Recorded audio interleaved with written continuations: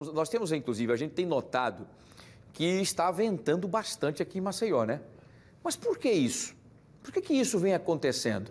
Vamos saber? Vamos ao vivo com Alan Garcia, que está na Semar, lá em Jacarecica, para a gente tentar entender a razão disso. O que a gente quer saber, né, Alan? Isso é comum nessa época do ano e tal? É um vento forte e frio, né?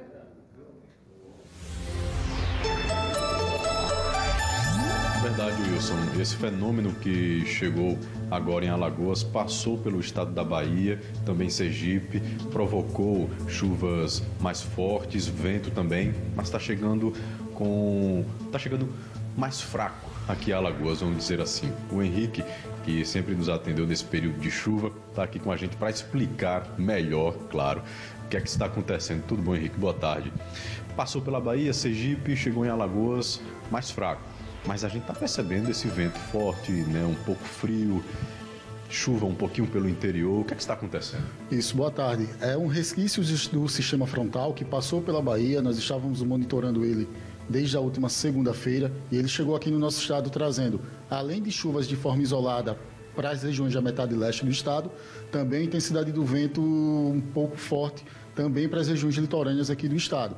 Então a nossa perspectiva é que essas situações é, meteorológicas elas persistam, persistem pelo menos até a próxima sexta-feira.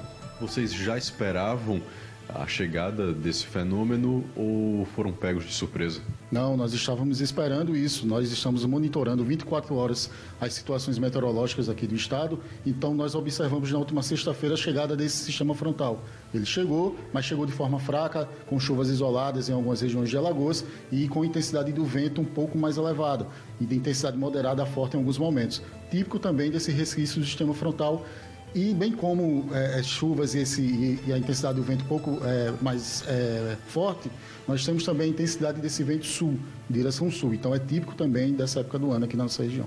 Ou seja, já é, já é algo de se esperar nessa época, nesse mês de agosto, setembro? Isso, nós estamos agora no final do período chuvoso, mas ainda assim esperamos chuvas de intensidade isolada, como está acontecendo, e a nossa perspectiva para o mês de setembro é que essas chuvas aconteçam pelo menos até a primeira quinzena do próximo mês tão fortes quanto nós registramos no mês de junho, julho ou não? Olha, a nossa perspectiva é que não seja daquela forma como foi nos últimos meses, mas ainda assim há sim essa possibilidade de chuvas, principalmente nas primeiras horas da manhã, intercalando com momentos de tempo seco, como estamos presenciando agora nos últimos dias. Perfeito, Henrique. Obrigado aí pela tua participação. Wilson, portanto, já era previsto né, a chegada desse fenômeno tem chuva, tem vento, mas nada que assuste, que chame tanta atenção para que a gente fique naquele alerta como ficamos né, no, no começo do inverno. Eu volto com você.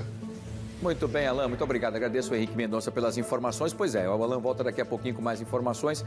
É realmente rajadas de ventos fortíssimas e frias, né? Eu moro no último andar, ô Alain, eu recebi uma rajada de vento ontem forte que até as calopecidas se assustaram. É, foi forte, né? Nas janelas, batendo, vibrando tudo. Eu falei, pronto, agora vai cair o prédio, enfim, foi um susto grande. Mas aquela rajada forte, vem a chuva, depois diminui, mas o vento frio também. Pra gente que, que usa a voz, a gente sofre, né? Com esse vento frio, para a gente é difícil. Obrigado, Alan. Você volta daqui a pouquinho com mais informações. É, gente, é, é mudança climática, é confusão e tudo mais. Não é, não é fácil, não. Mas é isso mesmo.